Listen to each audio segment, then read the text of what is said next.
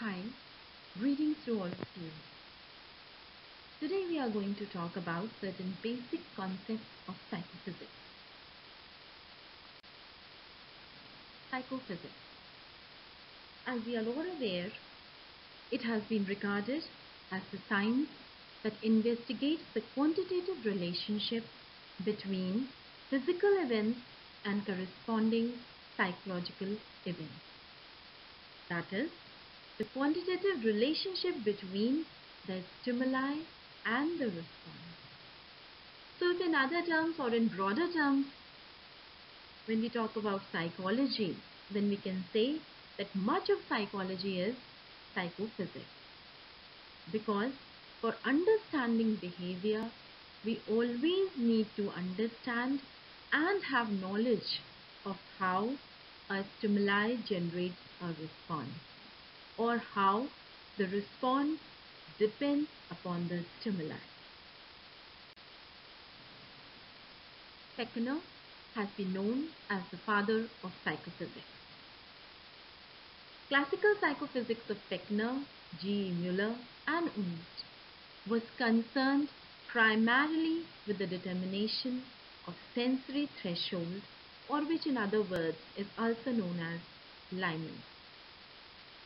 The original interest of Fechner was in philosophical questions of the relationship between body and mind, between physical and psychical, psychical aspects of the world.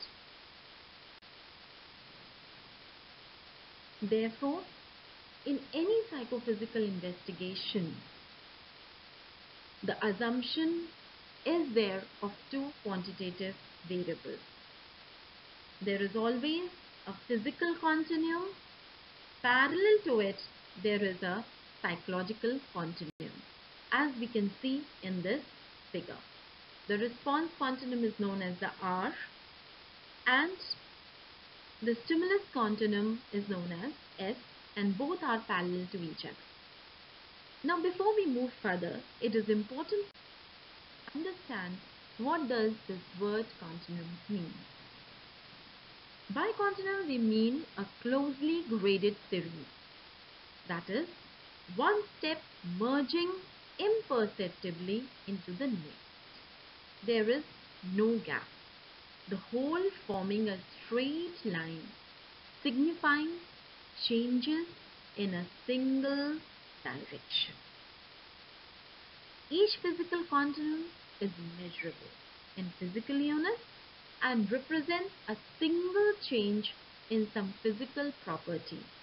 For example, the frequency of the sound wave, the amplitude of a sound wave, the weight in grams of any solid in grams of any solid, the length of a line, the energy level of the light stimulus, all these things, they are placed on a physical continuum and can be measured in physical units. In correspondence to these, there are certain well-recognized aspects of sensory experience also, like the pitch, loudness, sound, the pressure, the perceived visual length by the individual and the brightness of light. All these are the sensory experiences experienced by the individual.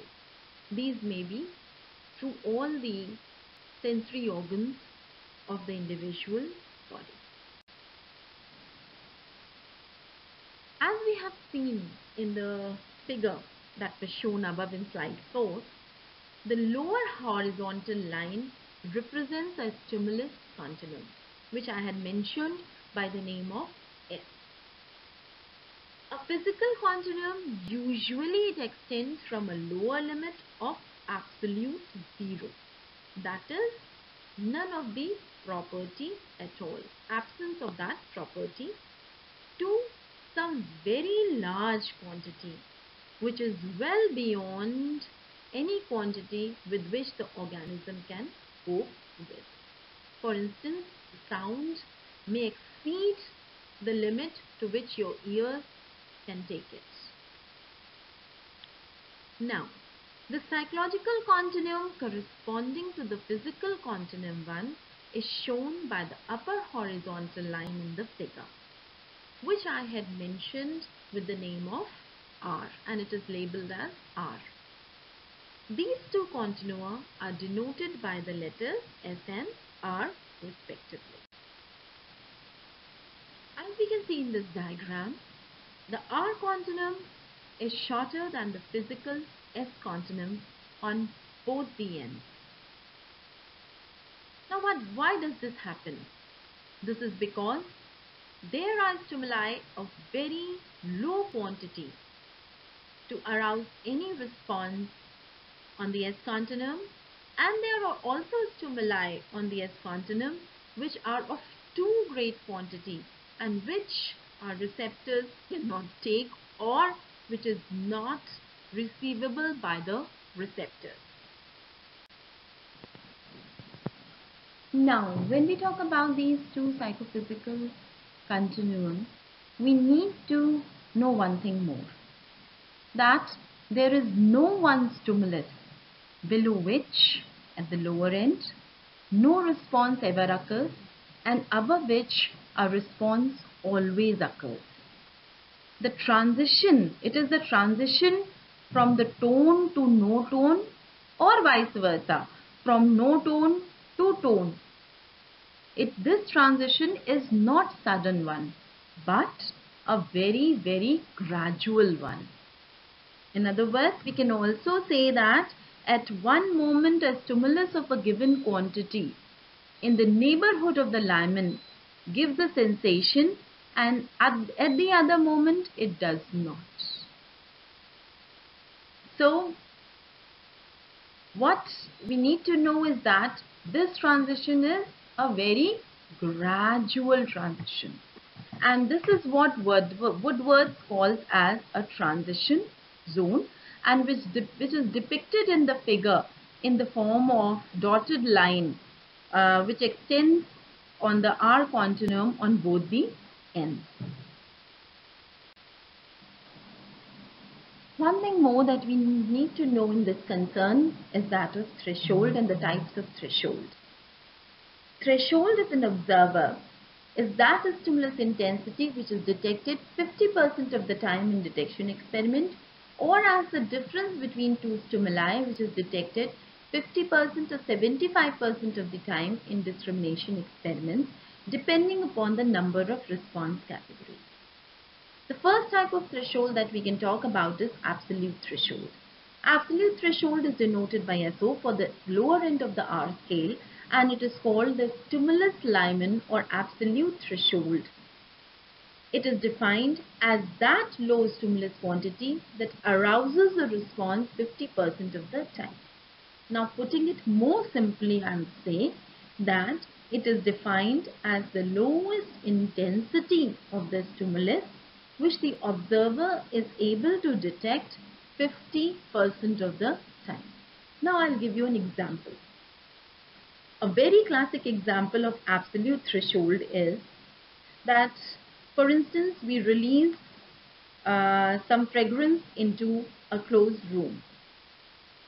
In this scenario, absolute threshold is that least amount of fragrance which is necessary for the subject to detect that there is an odor.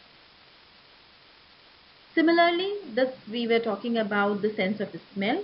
Now when we uh, talk about in terms of uh, the hearing sense, so we can take it in uh, terms of sound threshold. Uh, for instance, there is a person in the room who has started tuning the radio. Here, absolute threshold will be that intensity of the sound at which you are able to know that yes, something is happening in the room in terms of radio and somebody is trying to Similarly, if we talk in terms of the visionary sense, then for, for instance, there is a dark room and uh, you start uh, lighting candle or something or it may be defined as that light, amount of light which is necessary to see something in the dark room. This amount of light which makes you to see something, the least amount of light which makes you to see something in the dark room is no, it will be the absolute threshold for vision. After this we come on to difference threshold. It is that stimulus difference that is noticed 50% of the time by the observer. The level at which an increase in detected stimulus can be perceived. So if we talk in very very simple terms, then we can say that it is the level of stimulus needed for a person to recognize that a change has occurred. It is also known as just noticeable difference or difference limen. I'll give you an example. For instance, if you have added one teaspoon of sugar into a cup of water, now you add little more to it and little more to it till you are able to say that yes, now the sweetness is different from the initial one. So this amount of sugar that you had added in order to for the observer to detect a difference is known as the difference threshold.